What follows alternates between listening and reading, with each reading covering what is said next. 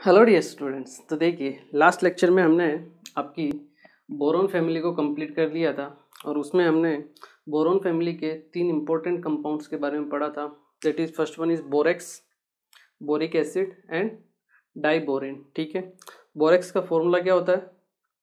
N A two B four O seven dot ten S two उसका structure formula क्या होता है? N A two B four O five O H four whole four dot eight H two ठीक है? वो हमने देख लिया था, ठीक है? बोरेक्स का जो सॉल्यूशन होता है वाटर के साथ, कैसा होता है नेचर में? एसिडिक या बेसिक बेसिक ठीक है? ना एल्केलाइन नेचर का होता है। क्यों? क्योंकि एन फॉर्म होता है, ठीक है? ये भी इम्पोर्टेंट था जो आपको याद होना चाहिए। इसके अलावा बोरेक्स का बीट भी फॉर्म होता है। जब बोरेक्स को हीट करते हैं हम तो सबसे पहले वाटर ऑफ़ क्रिस्टलाइजेशन रिमूव होते हैं। उसके बाद और ज़्यादा हीट करने पर बोरेक्स बीट बनता है। कौन क्या होता है उसका composition N A B O two sodium borate plus B two O three that is boric anhydride ठीक है, ये आपको याद होना चाहिए। जो क्या करता है आपका? किसी भी ट्रांजिशन मेटल के साथ में आपके कलर शो करता है। मतलब टेस्ट की तरह है यूज़ में आता है। आप ट्रांजिशन मेटल को इससे पहचान सकते हो, ठीक है ना? वो इम्पोर्टेंट चीज़ है। इसके अलावा जो सेकंड आपका था, वो क्या था? Boric acid H three B O three जिसे हम क्या बोलते हैं? ऑर्थोबोरिक एसिड भी बोला जाता है। ठीक है ना? ये भी इम्पोर्टेंट होता है। ठीक है? इसमें बी ओ टू की जो बी ओ थ्री की जो यूनिट्स होती है आपस में हाइड्रोजन बॉन्ड के साथ बॉन्डेड रहती है। ठीक है ना? ये इम्पोर्टेंट थी। आई थिंक आपने, आपको पता होगी। ठीक है? इसके बाद जो आपका आता है, वो था diborane B two H six इसका स्ट्रक्चर इंपॉर्टेंट होता है B two H six three C two E type का बॉन्ड होता है आपका। बनाना बॉन्ड भी जिसे बोला जाता है। ठीक है इम्पोर्टेंट होता है। आपके ब्रिज हाइड्रोजन इसमें रहते हैं दो, ठीक है? और आपके टर्मिनल हाइड्रोजन रहते हैं चार, ठीक है? जो एक ही प्लेन में होते हैं आपके बोरोन के साथ में। इम्पोर्टेंट था डायग्राम भी इम्पोर्टेंट था इसका। स्ट्रक्चर और प्रिपरेशन भी इम्पोर्टेंट थी। इसकी जो रिएक्शन थी अमोनिया के साथ, वो भी इम्पोर्टेंट थी, ठीक है ना? आप एक्सेस अमोनिया ले लो तो आपका बी एन बनता है, जिसे हम क्या बोलते हैं? इनऑर्गेनिक ग्रेफाइट ठीक है? और अगर आप one is to two ratio में ले लो तो इनऑर्गेनिक बेंजीन बनता है, ठीक है? जिसे हम क्या बोलते हैं? बोरा जीन, ठीक है ना? बोरा जीन बेंजीन ठीक है? तो एक होता है बोरा जोन, वो अलग होता है, ठीक है ना? तो कन्फ्यूज़न नहीं क्रिएट करना है, ठीक है? तो ये सब आपकी इम्पोर्टेंट रिएक्शंस थी कंपाउंड की। आई होप आप लोगों को याद होगी अभी भी, ठीक है? तो अब हम नेक्स्ट स्टार्ट करते हैं हमारी फैमिली कार्बन फैमिली के बारे में फोर्टीनथ ग्रुप ठीक है? तो देखिए, आपकी जो नेक्स्ट फैमिली है that is carbon family group fourteen carbon family carbon family की अगर हम बात करें तो इसमें आपके कौन कौन से आपके एलिमेंट्स आते हैं? ठीक है ना? देखिए कार्बन फैमिली जो स्टार्ट होती है, वो कार्बन से स्टार्ट होती है. कार्बन सिलिकन जर्मेनियम टिन और लेड ये आपके मेन पाँच एलिमेंट्स होते हैं, ठीक है? यहाँ पे जो सिलिकन होता है सिलिकन के बारे में अगर हम बात करें, इनका इलेक्ट्रॉनिक कॉन्फ़िगरेशन क्या होता है? N s two n p two ठीक है? ये आपको ध्यान होना चाहिए। जैसे कार्बन का एटॉमिक नंबर होता है सिक्स तो one s two two s two two p two ठीक है? कार्बन हो गया। इसके अलावा अगर हम सिलिकन की बात करें तो सिलिकन जो होता है मोस्ट अबंडेंट एलिमेंट होता है आपका अर्थ क्रस्ट पे आफ्टर ऑक्सीजन ठीक है ना? तो हम लिख सकते हैं इसकी एक प्रॉपर्टी है। Most abundant element. Most abundant element on earth crust, on earth crust after oxygen. ठीक है? तो ये एक इम्पोर्टेंट प्रॉपर्टी है। कभी कभी पूछ ले, हो सकता है। ठीक है? इसके अलावा अगर हम बात करें, ये तो जो दोनों टाइप के होते हैं आपके, ये होते हैं आपके नॉन मेटल्स क्या होते हैं आपके? नॉन मेटल ठीक है? जर्मेनियम होता है आपका मेटेलोइड्स। ठीक है? और ये दोनों आपसे आपके मेटल्स ठीक है? ये चीज़ भी आपको ध्यान रखनी है। ठीक है? इसके अलावा एसन का एक और होता है, एक इम्पोर्टेंट और होता है। वो क्या होता है आपका? एस एन ओ टू ठीक है? जिसे हम क्या बोलते हैं? टिन स्टोन टिन स्टोन इसका एक नाम और होता है। आपको याद होगा आई थिंक केसीटेराइट। क्या होता है? केसीटेराइट ठीक है ना? केसिटेराइट इम्पोर्टेंट होता है। ठीक है? इसके अलावा लेड का भी एक इम्पोर्टेंट और होता है। क्या होता है वो? पीबीएस क्या होता है? पीबीएस जिसे हम क्या बोलते हैं? गेलेना। ठीक है ना? जो थोड़ी थोड़ी सी बेसिक इन्फॉर्मेशन है, जो आपको याद होनी चाहिए। ठीक है? अगर हम साइज़ का रेश ऑर्डर देखें टॉप टू बॉटम जाने पर साइज़ क्या हो रही है? टॉप टू बॉटम अगर हम जाएँ तो आपकी जो एटॉमिक साइज़ होगी एटॉमिक साइज़ वो क्या होती है? इंक्रीज होती है क्लियर है, कोई दिक्कत नहीं। यहाँ पे थोड़ा सा दिक्कत आ जाता है लेंथ एंड कॉन्ट्रेक्शन लग जाता है एसएन और पीबी में। तो पीबी की साइज़ जो बड़ी होनी चाहिए, वो क्या हो जाती है? थोड़ी सी छोटी हो जाती है। किससे? एसन से। ये मैं आपको पहले बता चुका हूँ, ये सब फैमिली में अप्लाई होता है। ठीक है ना? लास्ट वाला जो एटम होता है, वो होना चाहिए बड़ा, लेकिन क्या हो जाए? छोटा हो जाता है लेंथेनॉइड कॉन्ट्रेक्शन की वजह से।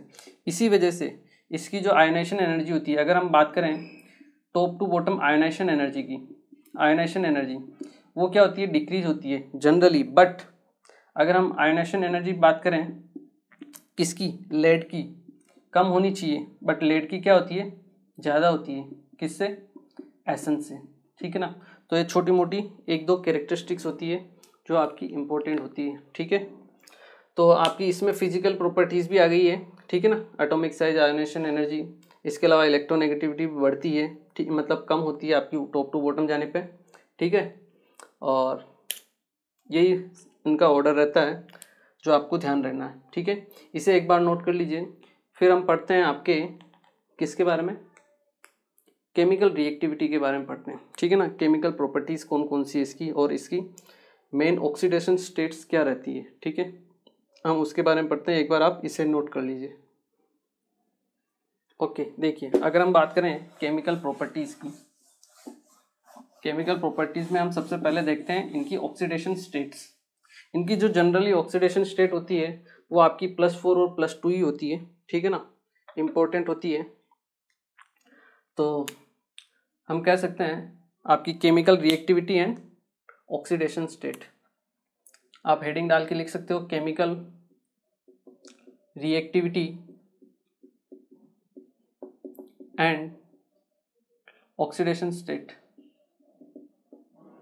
oxidation state तो जनरली इनकी जो ऑक्सीडेशन स्टेट होती है, वो आपकी प्लस फोर और प्लस टू होती है, ठीक है ना? तो हम क्या कह सकते हैं? Generally these element show plus four and plus two oxidation state ठीक है? आपको पता है प्लस फोर ऊपर वाली, ज़्यादा वाली, ऊपर वाली आपके ऊपर वाले मेटल्स के लिए, ठीक है ना? जो भी आपके एलिमेंट्स हैं, और नीचे वाली लोअर के लिए, ठीक है ना? ये चीज़ आपको ध्यान रखनी चाहिए, क्योंकि क्योंकि इनर्ट पेयर इफ़ेक्ट लगता है, ठीक है?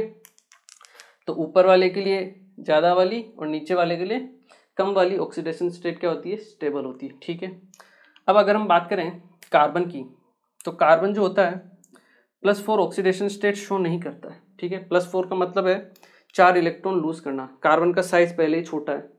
एक इलेक्ट्रॉन निकालेगा, फिर दूसरा, फिर तीसरा, फिर चौथा। चार नहीं निकाल पाएगा, ठीक है? इसीलिए इसकी जो कार्बन प्लस फॉर्म होता प्लस फोर होता है, ये बनता ही नहीं है। C four plus is not form क्यों नहीं बनता है? Because because of high ionization energy because of high ionization energy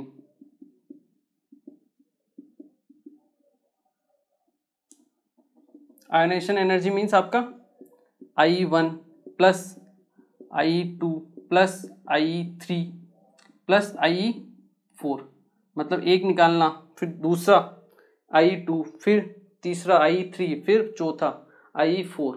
तो ये जो एनर्जी होती है, बहुत ज़्यादा होती है, ठीक है? इसलिए कार्बन कभी भी plus four oxidation number show नहीं करता है, ठीक है? इसके अलावा चार इलेक्ट्रॉन लेना भी इम्पोर्टेंट वो नहीं है इसके लिए पॉसिबल, क्योंकि साइज़ पहले छोटा है। एक इलेक्ट्रॉन लिया, फिर दूसरा, तीसरा, चौथा नहीं ले सकता है, ठीक है? इसलिए हम कह सकते हैं C four minus is also not form also not form by carbon ठीक है? तो जनरली ये क्या करता है? आपके कोवलेंट बॉन्ड बनाता है। कौन से? कोवलेंट बॉन्ड ताकि, क्योंकि कोवलेंट बॉन्ड क्या होते हैं? शेयरिंग से बनते हैं। आपको ना तो इलेक्ट्रॉन देना है, ना लेना है। मतलब ना तो गेन करना है, ना लूज करना है। शेयरिंग करनी है। तो शेयरिंग की वजह से आपके कार्बन बॉन्डिंग की प्रोसेस में पार्टिसिपेट कर देता है, ठीक है ना? Not form by carbon so हम लिख सकते हैं generally carbon max covalent bond covalent bond form करता है by sharing of electrons by sharing of electrons वो इसके लिए इजी पड़ता है। ठीक है ना? तो ये इंपॉर्टेंट होगी रिएक्शन आपकी कार्बन के लिए। ठीक है? अब अगर हम कार लेट की बात करें पीबी मैंने आपको पहले भी बताया था लेट के लिए। लेट के लिए प्लस फोर ऑक्सीडेशन स्टेट ज़्यादा स्टेबल है या प्लस टू प्लस टू क्यों? इनर्ट पेयर इफ़ेक्ट बिल्कुल सही। ठीक है ना? तो हम लिख सकते हैं for lead P B plus two is more stable than P B four plus due to due to inert pair effect बिल्कुल सही। Due to inert pair effect तो जनरली आपकी यही मेन रिएक्शंस होती है। ऑक्सीडेशन स्टेट में आपकी। और नॉर्मल देखा जाए तो प्लस फोर प्लस टू रहता है। अपर वाले प्लस फोर शो करेंगे। और नीचे वाले प्लस टू शो करेंगे, ठीक है ना? तो ये इंपॉर्टेंट रिएक्शंस हैं, इन्हें आप नोट कीजिए। फिर हम इसके बाद पढ़ते हैं आपकी रिएक्शन विथ एयर एयर के साथ क्या क्या रिएक्शंस होती है, ठीक है ना? एक बार आप इसे नोट कीजिए। ओके देखिए, अब हम पढ़ते हैं रिएक्शन विथ एसिड्स आपकी ऑक्सीजन के साथ, ठीक है? तो सभी जो आपके कंपाउंड्स आपके एलिमेंट्स होते हैं, वो ऑक्सीजन के साथ रिएक्शन शो करते हैं ओ के साथ। और ऑक्साइड फॉर्म करते हैं आपके दो टाइप के एम ओ और एम ओ टू ठीक है? एक होता है मोनोऑक्साइड और एक होता है डाइऑक्साइड ठीक है? तो आपका जो सेकंड रिएक्शन है दैट इज़ रिएक्शन विथ आप क्या बोलोगे? रिएक्शन विथ एयर ठीक है? या फिर O2 ठीक है? अगर हम बात करें तो तो हम क्या लिख सकते हैं इसमें कि all the elements all the elements reacts with oxygen or with O2 and form and form MO and MO2 type of oxides M आपका मोनोऑक्साइड है और ये आपका डाइऑक्साइड होता है। ठीक है? एक तो चीज़ ये थी जो इम्पोर्टेंट थी, ठीक है? इसके अलावा अगर हम बात करें आपकी एस आई ओ की, किसकी? एस आई ओ तो एस आई ओ जो होता है, आपका फॉर्म होता है by reduction of S I O two ठीक है ना? तो हम लिख सकते हैं S I O is form एक तो ये हाई टेम्परेचर बनता है, ठीक है ना? ठीक है? तो हम क्या लिख सकते हैं? एस आई ओ इज़ जो आपका एस आई होता है, एक तो ये हाई टेम्परेचर पे बनता है, ठीक है ना? और रिडक्शन के द्वारा बनता है आपके एस आई ओ टू से, ठीक है ना? तो हम क्या लिख सकते हैं? S I O is exist at only high temperature at only high temperature and make by reduction of make by reduction of S I O two by S I silicon के द्वारा इसका रिडक्शन करवाया जाता है। अगर आप S I O two का reduction करवाइए सिलिकन से तो आपके एस आई ओ फॉर्म होता है। ठीक है ना? तो ये भी एक इम्पोर्टेंट रिएक्शंस होती है। ठीक है? तो ऑक्साइड बनते हैं। ठीक है? मोनोऑक्साइड और डाइऑक्साइड ऐसे ही वो हो गया। इसके अलावा अगर हम इनके नेचर की बात करें कि इनका नेचर क्या होता है तो आपके, अगर हम बात करें C O two S I O two G O two ठीक है? या फिर जी ई ओ ये क्या होते हैं आपके नेचर में? एसिडिक होते हैं। क्या होते हैं आपके? एसिडिक ठीक है? इसके अलावा अगर हम बात करें सी ओ की, ये होता है आपका न्यूट्रल क्या होता है? न्यूट्रल सी ओ के अलावा एक दो कंपाउंड और होते हैं लाइक एनो जो इसमें नहीं है, इस फैमिली में नहीं है बट होते हैं। तो सी ओ के साथ एनो एन टू ओ ये क्या होते हैं आपके? न्यूट्रल होते हैं। इसके अलावा मैंने आपको बताया था एम्फोटेरिक में, बेसन गाल जीप पर, ठीक है? आई थिंक आपको याद होगा मतलब पीबी और S N S N and TB ये चीज़ बहुत जगह आपके काम आएगी इनऑर्गेनिक में, ठीक है ना? तो ये क्या होंगे आपके? एम्फोटेरिक होंगे। तो इनके जो भी ऑक्साइड्स बनेंगे, वो सब कौन कौन से बनेंगे? आपके नेचर में एम्फोटेरिक नेचर के बनेंगे, ठीक है? तो ये है रिएक्शन विथ एयर के साथ, ठीक है? इसके, इसे नोट कीजिए। फिर हम आगे की रिएक्शन पढ़ते हैं, ठीक है? एक बार आप इसे नोट कीजिए। ओके देखिए, अब अगर हम पढ़ें इनकी रिएक्शन विथ आपकी जो नेक्स्ट रिएक्शन हम पढ़ते हैं, वो पढ़ते हैं हम रिएक्शन विथ वाटर ठीक है ना? अगर हम पढ़ें रिएक्शन विथ वाटर कि वाटर के साथ क्या रिएक्शन ये शो करते हैं? तो पहली बात तो ये नॉर्मल टेम्परेचर पे तो ये अनअफेक्टेड रहते हैं। ठीक है ना? वाटर के साथ रिएक्शन शो नहीं करेंगे। तो हम क्या लिख सकते हैं? At normal temperature at normal temperature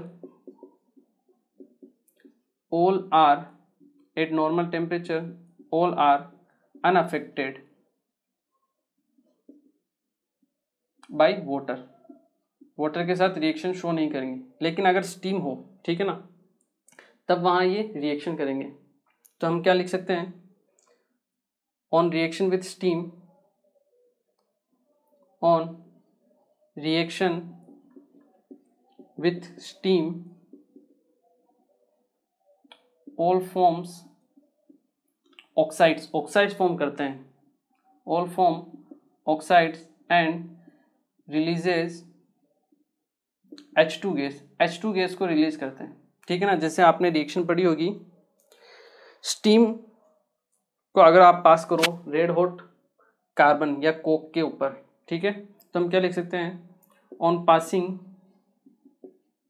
steam over red hot carbon या कोक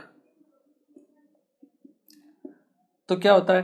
कार्बन जो होता है सॉलिड जब एच टू ओ लिक्विड के साथ रिएक्शन करेगा। ठीक है? तो क्या होगा आपका? एक तो एच टू गैस बनती है और साथ में बनता है सी ओ प्लस एच ठीक है ना? ये एक इम्पोर्टेंट कंपाउंड होता है, जिसे हम बोलते हैं सिन गैस। क्या बोलते हैं हम इसे?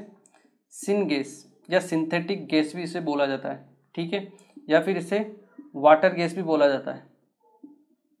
जिसका आगे फर्दर यूज़ होता है आपका मेथेनॉल के फॉर्मेशन में, ठीक है ना? तो इम्पोर्टेंट होती है। सिन गैस या फिर इसे हम क्या बोलते हैं?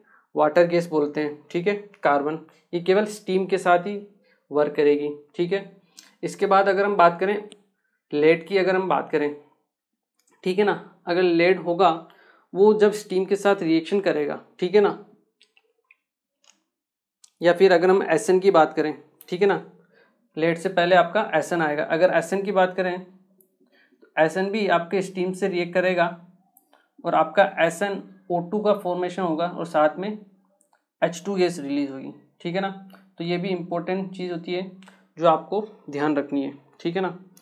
वैसे जो आपका लेड होता है, वो अनअफेक्टेड होता है एच टू ओ से या स्टीम से बट अगर आपके एच टू ओ में ऑक्सीजन अधिक मात्रा में अवेलेबल है, तब आपका लेड रिएक्शन शो करता है। ठीक है ना? तो एक बार आप इसे नोट कीजिए, फिर मैं उसके बारे में भी आपको बता देता हूँ।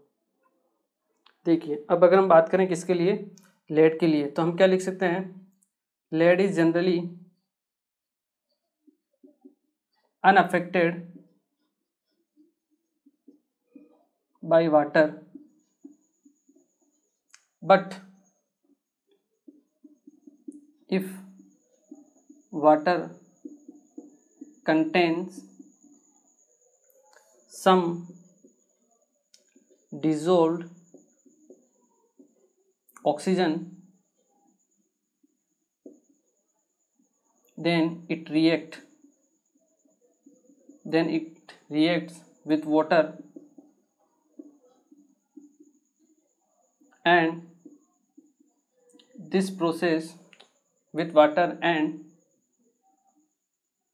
and form PbOH whole twice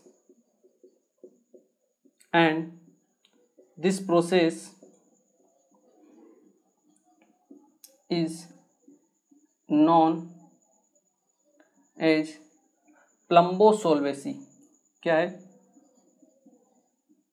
प्लम्बो सोलवेसी इस प्रोसेस को हम क्या बोलते हैं प्लम्बो सोलवेसी, ठीक है ना? तो ये एक इम्पोर्टेंट रिएक्शन होती है जो आपको ध्यान रखनी है। जैसे आपका पी बी किसके साथ रिएक्शन करेगा आपके एच टू में और ओ टू के साथ? तो आपका फॉर्मेशन होगा P B O H whole twice plus H two gas ठीक है ना? आप इसको बैलेंस कर सकते हो, ठीक है?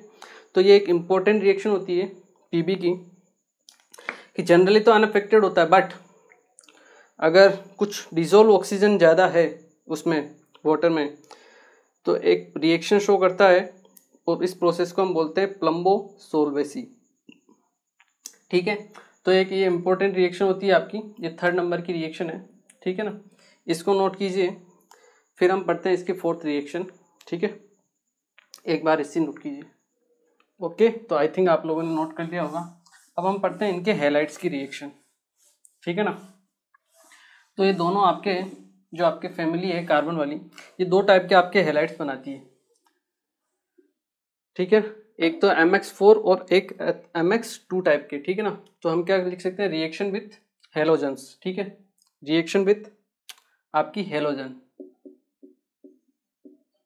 या फिर इसको हम क्या बोलते हैं? हेलाइट्स तो हम क्या कह सकते हैं? They form they form halides of type mx2 and mx4 दोनों टाइप के आपके हेलाइट्स का फॉर्मेशन करते हैं, ठीक है? इनमें आपका S N F four and P B F four ये जो दोनों होते हैं, ये आपके नेचर में कैसे होते हैं? Ionic are ionic in nature and rest all are covalent in nature covalent in nature बाकी क्या होते हैं? सब आपके कोवेलेंट होते हैं। बाकी बस यही आपके क्या होते हैं? नेचर में आयोनिक होते हैं। With S P three hybridization okay? S P three hybridization इनमें मेनली होता है, ठीक है? तो ये इंपॉर्टेंट रिएक्शन होती है आपकी हेलोजन के साथ, जो हेलाइट्स होते हैं उनके साथ, ठीक है? इसके अलावा अगर हम एक बार और बात करें तो मैंने आपको बताया था इनर्ट पेयर इफ़ेक्ट में कि आपका अगर पी बी एक्स टू होता है, ये मोर स्टेबल होता है। क्यों? क्योंकि इसमें P B plus two state में रहता है, ठीक है ना? तो हम क्या लिख सकते हैं कि पी बी एक्स फोर जो हेलाइट्स होते हैं वो क्या होते हैं आपके नेचर में? मोर स्टेबल होते हैं। P B X two is more stable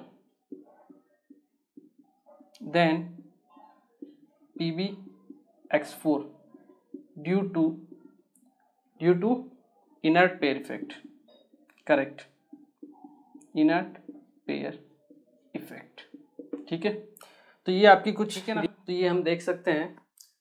कि पी बी एक्स टू जो होता है आपका मोर स्टेबल होता है than P B X four due to inert pair effect ठीक है? तो ये हमारी चार रिएक्शंस थी। एक तो सबसे पहले हमने ऑक्सीडेशन स्टेट देखा, ठीक है? उसके बाद रिएक्शन विथ एयर देखी, ठीक है? उसके बाद हमने हेलोजन के साथ भी इसकी रिएक्शन देखी और वाटर के साथ ही, ठीक है? तो ये चार टाइप की मेन रिएक्शंस होती हैं इसकी। इन्हें आप नोट कीजिए, फिर हम पढ़ते हैं आपके एलोट्रोप्स ऑफ़ कार्बन के बारे में, कि कार्बन के कौन कौन से एलोट्रोप्स होते हैं। आई थिंक आप लोगों को पता होगा कितने टाइप के होते हैं? थ्री। ग्रेफाइट, फुलरिन और डायमंड, ठीक है ना? और दूसरे भी टाइप के फुलरिन होते हैं, आपके एलोट्रोप्स होते हैं, जो मैं आपको बताता हूँ, ठीक है ना? एक बार आप इसे नोट कीजिए। ओके, देखिए। अब हम पढ़ते हैं एलोट्रोप्स ऑफ़ कार्बन। कार्बन के जो एलोट्रोप्स होते हैं, वो दो टाइप के होते हैं, ठीक है ना? अगर हम बात करें तो। Allotropes of carbon allotropes of carbon carbon के जो एलोट्रोप्स होते हैं, ये मेनली दो टाइप के होते हैं आपके। एक तो होते हैं क्रिस्टलाइन फॉर्म एक तो होते हैं आपके क्रिस्टलाइन एलोट्रोप्स क्रिस्टलाइन एलोट्रोप्स और एक होते हैं आपके एमोर्फस एलोट्रोप्स एमोर्फस एलोट्रोप्स ठीक है ना? ये दो मेन आपके एलोट्रोप्स होते हैं, ठीक है ना? अगर हम क्रिस्टलाइन एलोट्रोप्स की बात करें तो क्रिस्टलाइन एलोट्रोप्स में आपके आते हैं डायमंड ग्रेफाइट एंड फुलरिन ठीक है? एमोर्फस एलोट्रोप्स की अगर हम बात करें तो इसमें आते हैं आपके लैम्प ब्लैक ठीक है? या फिर आपका चारकोल ये आपके एमोर्फस एलोट्रोप्स में आते हैं। लेकिन हम इन तीन ग्रेफाइट्स की, ये जो है आपके क्रिस्टलाइन एलोट्रोप्स इनके बारे में पढ़ेंगे, ठीक है ना? क्योंकि हमारे सिलेबस में यही है, ठीक है? तो सबसे पहले हम स्टार्ट करेंगे आपके क्रिस्टलाइन एलोट्रोप्स में डायमंड के बारे में, ठीक है ना? ओके इसे आप नोट कर लीजिए। देखिए, अब हम सबसे पहले क्या पढ़ते हैं? डायमंड के बारे में। डायमंड के बारे में आप सबको पता ही होगा कि डायमंड कैसा होता है। कैसा होता है? इसमें एवरी कार्बन एटम जो होता है, वो दूसरे कार्बन एटम के साथ बॉन्डिंग शो करता है, ठीक है? मतलब एक भी आपका कार्बन फ्री नहीं रहता है, ठीक है? और टेट्राहाइड्रल इसका स्ट्रक्चर होता है। तो हम क्या लिख सकते हैं इसमें? Each carbon atom each carbon atom is attach with और connect with attached with another carbon atom another carbon atom in tetrahedral manner, in tetrahedral manner in tetrahedral manner ठीक है ना? इसीलिए ये क्या होते हैं? बेड कंडक्टर ऑफ़ इलेक्ट्रिसिटी भी होते हैं, ठीक है ना? इसकी अगर हम स्ट्रक्चर की बात करें तो कार्बन की स्ट्रक्चर क्या होती है? लाइक like दिस ठीक है ना? टेट्राहेड्रल स्ट्रक्चर होता है। ये फिर किसी और कार्बन के साथ, ये फिर किसी और कार्बन के साथ, ये किसी और कार्बन के साथ, ठीक है? फिर ये वाला किसी और कार्बन के साथ। यहाँ इस तरीके से आपके जो हैं, ये चलते जाएँगे चलते जाएँगे लार्ज नेटवर्क होता जाएगा, ठीक है? ये इस टाइप का होता है, आपका लार्ज नेटवर्क होता है। किसका? डायमंड का, ठीक है ना? ये एक इम्पोर्टेंट चीज़ होती है, ठीक है? और एक और इम्पोर्टेंट चीज़ होती है, ये जो बॉन्ड होते हैं, ये कोवलेंट बॉन्ड होते हैं। ठीक है ना? ये आपको ध्यान रखना है, ठीक है? Each carbon atom is attach with another carbon atom in tetrahedral manner and form a large network a large network of covalent bond ठीक है ना? ये चीज़ आपको ध्यान रखनी है। ये तो था इसका नॉर्मल स्ट्रक्चर अब अगर एक्चुअल स्ट्रक्चर देखा जाए तो वो होता है आपका डायमंड का स्ट्रक्चर एफसीसी टाइप का, ठीक है ना? एक बार आप इसे नोट कीजिए, फिर मैं वो आपको स्ट्रक्चर कैसा होता है वो मैं बताता हूँ आपको, ठीक है ना? एक बार आप इसे नोट कीजिए। ओके देखिए, अब हम इसके जो एफसीसी स्ट्रक्चर होता है, वो कैसा होता है वो देखते हैं, ठीक है ना? मेनली जो इसका जो स्ट्रक्चर होता है, वैसे ये तो टेट्राहेड्रल बता देते हैं, ठीक है ना? लेकिन अगर हम मेन स्ट्रक्चर देखें इसका, कि मेन स्ट्रक्चर कैसा होता है तो हम कह सकते हैं crystal structure crystal structure of diamond has S T T has F C C lattice F C C means face centre cubic कौन सा? Face centre cubic face centre cubic ठीक है?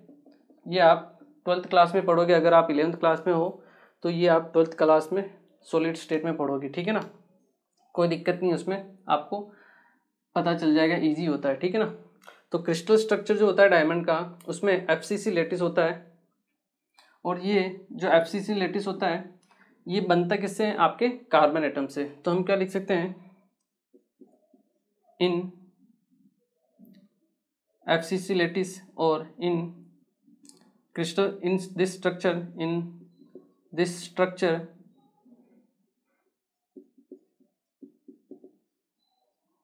carbon atom carbon atom makes FCC lattice FCC lattice and each carbon atom each carbon atom occupy alternate. आप क्या करता है? Alternate आपका tetrahedral void tetrahedral void ठीक है ना? वो ऑक्यूपाई करता है। देखिए मैं आपको स्ट्रक्चर बताता हूँ। तब आपको एक, एकदम अच्छे से समझ में आएगा। ये आपका लेटिस होता है। ठीक है? ये हुआ आपका क्रिस्टल लेटिस, ठीक है? क्रिस्टल लेटिस में क्या है आपके? हर एक कॉर्नर पे आपके कार्बन एटम रहेंगे। एफसीसी का मतलब क्या होता है? एफसीसी का मतलब होता है आपका, आपके जितने भी कॉर्नर्स हैं, ठीक है ना? एक तो उनके ऊपर, ये जितने भी कॉर्नर्स हैं, सब पे क्या है आपका? कार्बन एटम है। ये जितने भी कॉर्नर्स हैं, सब पे आपके कार्बन एटम है, ठीक है?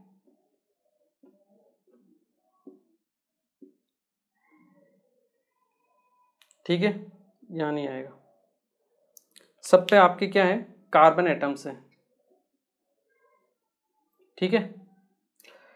इसके अलावा फेस के ऊपर, ये आपका क्यूब का फेस एक क्यूब के छह फेस होते हैं। ठीक है ना? वहाँ पे भी कार्बन एटम रहेगा। ये ऊपर वाला फेस ये नीचे वाला, ये लेफ़्ट वाला, ये राइट वाला, ये फ्रंट वाला और ये बैक वाला। इस तरह आपके छह फेस रहते हैं। आठ तो कॉर्नर हो गए। छह फेस हो गए। इसके अलावा जो ईच कार्बन एटम होता है ऑक्यूपाई करता है अल्टरनेट टेट्राहेड्रल वोइड को। अब देखिए टेट्राहेड्रल वोइड क्या होते हैं? टेट्राहेड्रल वोइड होते हैं आपके, ये जो बॉडी डायगनल होता है, अगर हम एक कॉर्नर और दूसरे कॉर्नर को आपस में मिलाएँ, आमने जो सामने है, इसे हम बोलते हैं बॉडी डायगनल क्या बोलते हैं हम?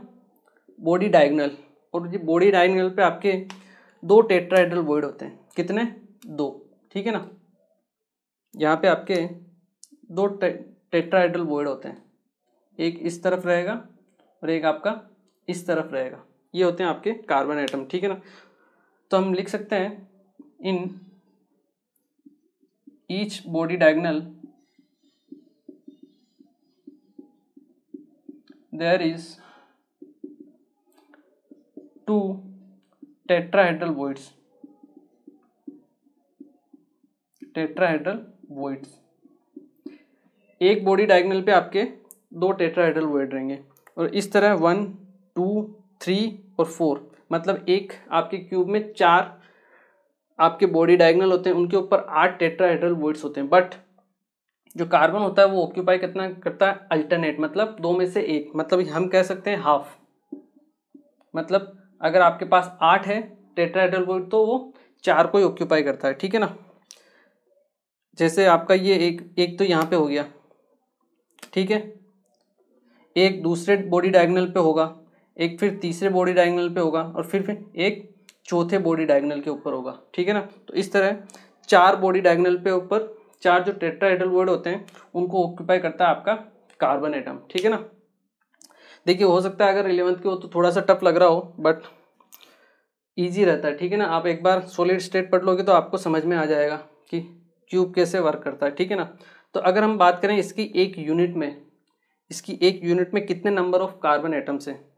तो आप मुझे बताइए, number of carbon atoms, number of carbon atoms, number of carbon atoms in one unit. अगर मैं आपको वन यूनिट में पूछूँ, जो एक लेटेस्ट की वन यूनिट है, उसमें कितने नंबर ऑफ़ कार्बन एटम्स हैं? तो देखिए, आठ तो आपके कॉर्नर्स पे हैं।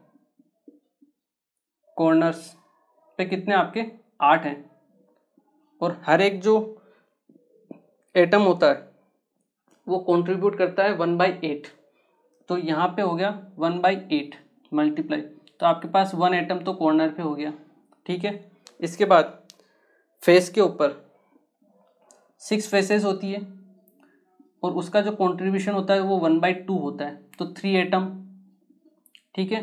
इसके अलावा बॉडी डायगनल वाले जो कार्बन है, वो तो क्यूब के अंदर ही है तो वो तो कंप्लीट आपके काउंट होंगे। तो टेट्राहेड्रल वोइड्स वाले जो कार्बन है, वो कितने आपके? फोर एटम्स मतलब फोर एटम्स तो आपके अगर हम टोटल एटम्स की बात करें तो जित तो आपके टोटल एटम्स कितने होंगे? एट एटम्स मतलब एक क्यूब में, एक यूनिट में आपके कार्बन के आठ एटम्स होते हैं। कितने? आठ एटम्स होते हैं, ठीक है ना? तो ये इसका अगर मेन स्ट्रक्चर देखा जाए कार्बन डायमंड का तो इस टाइप का होता है टेट्राहेड्रल जहाँ पे एक कार्बन जैसे ये कार्बन है, ये चार कार्बन के साथ बॉन्ड शो करता है, जैसे एक तो ये इस कार्बन के साथ शो कर लिया, ठीक है? एक सेकंड इसके साथ, एक थर्ड इसके साथ और एक फोर्थ इसके साथ तो इस तरह ये एक टेट्राहेड्रल की फॉर्म में चार बॉन्ड बनाता है, ठीक है ना? इसका स्ट्रक्चर इस टाइप का रहता है, ठीक है? तो ये इम्पोर्टेंट होता है ये चीज़ आपको ध्यान रखनी है, ठीक है? इसके अलावा एक और चीज़ जो इम्पोर्टेंट है, वो क्या थी आपकी? आई थिंक ये आपने नोट कर लिया होगा फेस सेंटर्ड क्यूबिक ठीक है?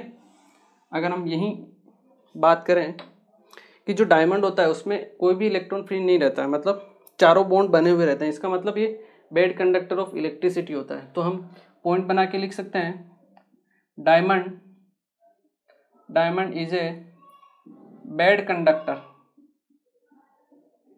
of electricity of electricity but जो डायमंड होता है हीट कंडक्टिविटी जो होती है, इसकी बेटर होती है किससे? ग्रेफाइट से। ये इंपॉर्टेंट चीज़ है। But it is a better heat conductor than graphite ठीक है ना? तो ये इम्पोर्टेंट है, आपको याद रखना है। ठीक है? ये चीज़ इम्पोर्टेंट है। जनरली बेड कंडक्टर होता है इलेक्ट्रिसिटी का, ठीक है ना? तो लोग क्या करते हैं स्टूडेंट मतलब उसको हीट कैपेसिटी में भी अच्छा नहीं मानते कि हाँ अगर बेड कंडक्टर इलेक्ट्रिसिटी को हीट नहीं कर रहा है तो हो सकता है हीट को भी कंडक्ट ना करे। बट ये हीट को कंडक्ट करता है, और बेटर करता है ग्रेफाइट से, ठीक है ना? तो ये एक इम्पोर्टेंट चीज़ है जो आपको ध्यान रखनी है, ठीक है? ये होता है आपका पहला एलोट्रोप्स कौन सा? ग्रेफाइट ठीक है? तो आज हमने अपनी कार्बन फैमिली स्टार्ट की है और हमने इसकी फ़िज़िकल प्रॉपर्टीज़ और केमिकल प्रॉपर्टीज़ इसकी देखी रिएक्शंस देखी ऑक्सीडेशन स्टेट देखी रिएक्शन विथ एयर देखी वाटर देखी, ठीक है ना? हेलाइट्स की रिएक्शन देखी हेलोजन के साथ। और लास्ट में अभी हमने स्टार्ट किया है आपके एलोट्रोप्स ऑफ़ कार्बन, ठीक है? तो हमने पहला एलोट्रोप्स कर कंप्लीट कर लिया है, जो है आपका डायमंड ठीक है? आज के लेक्चर को हम यहीं फिनिश करेंगे और नेक्स्ट लेक्चर में हम इसके और जो भी एलोट्रोप्स हैं, उनके बारे में पढ़ेंगे। तो मिलते हैं नेक्स्ट लेक्चर थैंक यू